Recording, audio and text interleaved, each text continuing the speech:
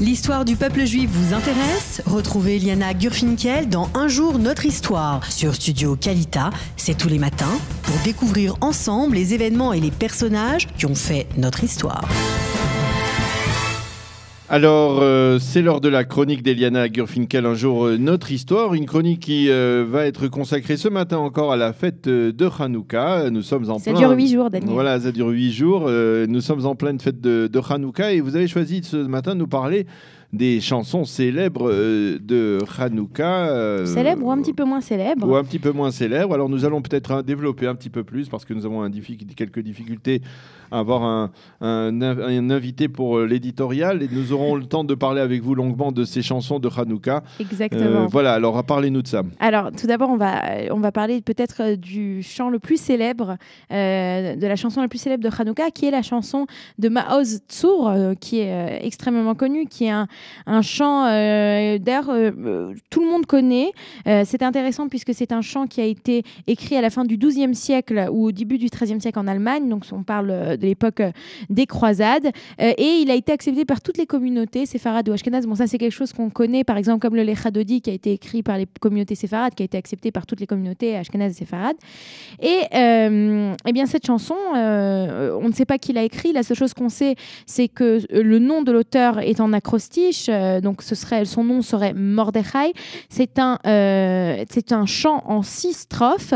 Et euh, au, final, il n'est pas spécial. C'est pas spécialement un chant de Hanouka, si on regarde bien ce- cette chanson, puisque sur ces six strophes, en fait, chaque strophe parle d'une période différente dans laquelle le peuple juif a passé des moments difficiles. Alors, euh, si on, on regarde par exemple, au départ, euh, euh, On la- peut le dire en ivrite aussi. Hein, on peut... vous voulez que je la dise en Euh, ivrite non, on peut en, même en, en citer des extraits en ivrite. On va aussi. citer des extraits en ivrite, bien entendu, Daniel. Alors, on va commencer par euh, la, première, euh, la première partie. Donc, Ma'oz tsur yeshuati lechana el eshabeach yikon bet tefilati vesham toda nezaber le et tachin matbeach mitzar a menaber azegmor beshir mizmor chanoukat amizber. Le premier euh, passage nous parle de quoi? Bah, C'est un passage d'espoir puisqu'il nous parle de euh, eh bien, la, euh, la Hanouka, l'inauguration euh, du troisième Beth Amikdash, euh, du prochain Misbeach.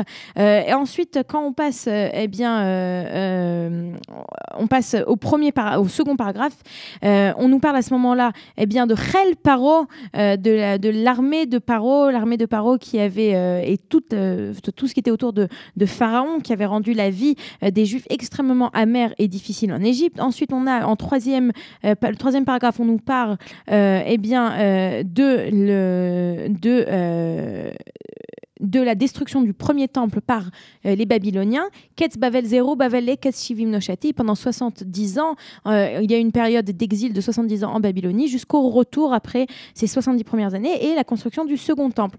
Ensuite, on continue de nous raconter euh, de l'histoire juive puisqu'on nous parle cette fois-ci eh bien, de Agagi Ben Amedata. C'est tout simplement, on nous parle de Agag et, de la famille de Agag. Eh bien, on, on parle tout simplement de Haman et de l'histoire de Purim. Donc, comme je vous dis, c'est pas spécialement un chant qui parle de Hanouka. Ce n'est qu'à la cinquième strophe qu'à ce moment-là, on commence à nous parler d'un petit peu de Hanouka. On nous parle des Grecs, euh, Nikbetsu, Alai, Azai, Bime, Hashmonaïm, autant des, des Hashmonaïm. Les Grecs euh, les, euh, se sont, euh, eh bien, ont, ont essayé de, de détruire et ont, et ont rendu impures toutes les huiles. Et à ce moment-là, il restait juste un petit can-can, un petit, une petite fiole d'huile. Et c'est à ce moment-là qu'on a eu l'histoire de Hanouka. Et enfin, le dernier paragraphe, alors là c'est encore autre chose, le dernier paragraphe, lui, parle eh bien, de la vengeance que Dieu euh, euh, garde pour les gens qui eh bien, font du mal au peuple juif. Et, euh, en, en très gros, l'auteur demande à Dieu, eh bien, vous savez quoi? Que ce moment où Dieu eh bien, fera connaître son courroux euh, aux, aux ennemis d'Israël, qu'il le fasse connaître tout de suite. Alors, c'est une, donc comme je vous l'ai dit, on ne parle pas spécialement de l'histoire de Hanouka, mais pourtant c'est une, euh, c'est ce, euh, c'est cette chanson qui a, euh, ex- Alors- qui, est devenue extrêmement connue. Alors comment Pour comment, Alors, il y a plusieurs explications. D'abord, parce que les autres, les autres fêtes, si c'est la fête de Pessah, on a la Haggadah, on a quelque chose à faire, entre guillemets. Si c'est la fête de, de euh, On a autre chose, c'est la Megillah. Donc on a dans ces deux, euh, ces deux fêtes, on a un espèce d'opus qui est déjà écrit, qu'on relit, dans lequel on, se remémore de ce qui s'est passé. Tandis que pour Hanouka, on n'a pas spécialement. On a les livres de, euh, de Judith ou des, des Maccabées qui n'est pas rentré dans, le, dans, le, dans la Bible. Donc on n'a pas quelque chose de très connu. Et quelque part, ce chant prendrait la place euh, eh bien, de ces, de ces livres qu'on lit en période de fête. Alors, mais je vais quand même un petit peu continuer parce que... Non, mais c'est tout de même assez impressionnant qu'il soit chanté un peu partout dans, dans toutes les diasporas juives. il faut dire que c'est un texte qui, qui est extrêmement... qui euh, j'ai envie de dire qu'il. Et quasiment même sur le, sur le même air. Hein, oui, alors, alors l'histoire de l'air, c'est encore quelque chose. L'histoire de l'air, c'est que c'est une marche allemande qui date du XVIe siècle. Euh, j'ai lu quelque part. Euh, Lali Doré avait écrit un très bel article dessus qu'elle a republié il y a quelques jours sur Facebook. Et il y a quelqu'un qui a écrit, que, qui a commenté qu'il y avait un rave du Ternion ou un rave au Ternion dans les années 70 qui était un ancien pasteur luthérien qui s'était converti et qui ne supportait pas entendre Mao Tzu parce qu'il disait Ouh là là, cette marche luthérienne, s'il vous plaît, ne me la faites pas écouter parce que pour lui, ça, ça sonnait euh, très très bien. Mais l'autre, euh, les autres chansons de, de dont j'aimerais vous parler ce matin, eh bien, c'est quelque chose de complètement différent. Euh, je me suis inspirée d'un article qui, a, qui, est paru dans le blog de la Sifria Léomite de la Bibliothèque nationale israélienne. Et en fait, ils ont fait un travail extraordinaire pour retrouver des enregistrements qui ont été faits en 1948, juste après la guerre, à New York. Et en 1948, euh, à New York juste après la guerre, eh bien, on avait une personne qui s'appelle Stonehill, qui, euh, Ben Stonehill, qui va tout simplement aller enregistrer des jeunes juifs qui viennent d'arriver, qui viennent euh, d'arriver aux États-Unis, qui viennent de sortir des camps, qui sont survivants de l'Holocauste, et il va leur demander eh bien, de leur chanter des chants qu'ils chantaient eh bien, au ghetto, qu'ils chantaient dans les camps. Et, et un, une, de ces, une de ces chansons, alors on me dit qu'il y a un petit problème technique, on ne pourra pas l'écouter, mais on a un petit garçon qui s'appelle Meir qui a 9 ans, euh, qui vient d'arriver à New York et il euh, chante euh, eh bien, une chanson qui s'appelle Simu Shemen. voici ce que les paroles de la, de la chanson. Simu Shemen, Simu, Simu Shemen Shemen Zait, Nerot Hadliku, Ye Or Babait, Or Lanou, Dror Lanou. Ce qui signifie en, en français mettez de l'huile, de l'huile d'olive, allumez des bougies, de la lumière il y aura à la maison, de la lumière pour nous, de la liberté pour nous. On écoute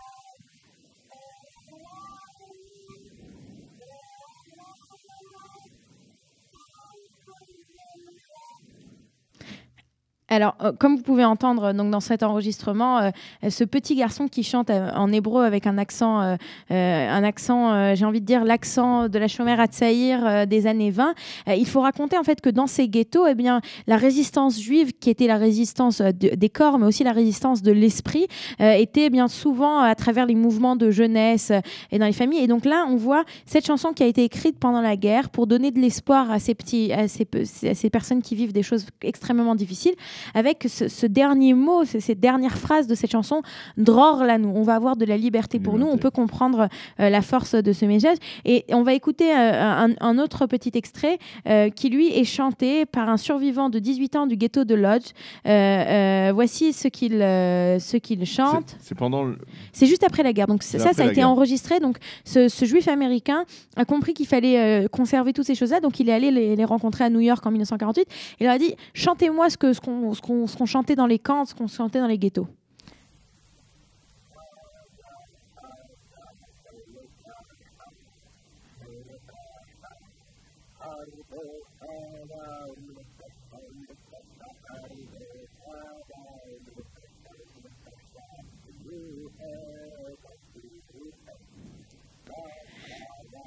Alors, cette, euh, cette, euh, dans cette chanson, on dit voilà, il y avait un roi méchant, un seigneur du mal. Son épée était forte et, aiguisée, euh, et bien aiguisée. Antiochus, Antiochus. Donc, à nouveau, une chanson. Hier, si on avait parlé. hier, vous avez, on en a bien parlé d'Antiochus. et donc, dans, cette, dans cet enregistrement, eh bien, de quoi parle-t-il? Eh bien, il parle. C'est un parallèle, entre guillemets, de ce roi méchant avec cette épée extrêmement pointu, qui pourtant, eh bien aujourd'hui n'existe plus. Et à nouveau, c'est une chanson qui était chantée par les enfants et par les qui, qui, qui, vivaient dans l'Holocauste pour se donner de la force. Et c'est sur cette phrase d'ailleurs que j'aimerais terminer en rappelant que la particularité de la fête de Hanouka en Israël, c'est une des fêtes les plus fêtées. en Israël, ce n'est pas parce qu'on n'a pas de, de, Noël, alors il faut bien qu'on fasse quelque chose, bah, pas du tout. C'est qu'en Israël, tout simplement, le rôle des Maccabim, de ces défenseurs du peuple juif, a pris. A été adopté par le, par le mouvement sioniste. Et donc, c'était très, très important. Et on peut voir que d'un côté, donc, ça a été adopté déjà quand les, les Juifs sont retournés en Israël au début du XXe siècle. Mais on peut voir que dans les mouvements sionistes, eh ben, on a utilisé ce, ce même, cette, cette, même, comment dire, ce même euh, cette même idée, eh bien, pour donner de la force à tous ces enfants qui avaient besoin d'avoir de, de l'espoir pour pouvoir survivre à l'Holocauste, eh bien, ça a marché. Et et c'est grâce à ça qu'on a pu euh, que on a pu écouter ce matin ces enregistrements euh, donc qui ont été mis en ligne par la Bibliothèque est nationale. On peut peut-être euh, avoir on a peut-être une possibilité d'écouter un Mao Tzour, un Mao Tzour, je ne suis pas sûr. Non. vous pouvez chanter Daniel. Vous avez David, a, David a d'énormes capacités, mais pas celle-là d'arriver à trouver en, improvisant. Un, Plutôt David a d'énormes capacités, mais pas encore de lire dans votre cerveau, Daniel. Parce que ça serait intéressant de, justement d'écouter. Cette marche allemande. Voilà. Non, pas possible. Alors bon, ça sera pour une autre, pour une autre occasion. Merci beaucoup, Eliana, de nous avoir euh, éclairé, c'est le cas de le dire, euh, ce matin sur ces chants célèbres de, de Hanouka. Nous allons marquer une pause musicale, c'est possible, une pause musicale, et après, euh, on se retrouve pour la revue de la presse et des médias. Vous aimez l'histoire juive? Retrouvez Liana Gurfinkel dans Un jour notre histoire sur Studio Kalita. C'est tous les matins pour découvrir ensemble les événements et les personnages qui ont fait notre histoire.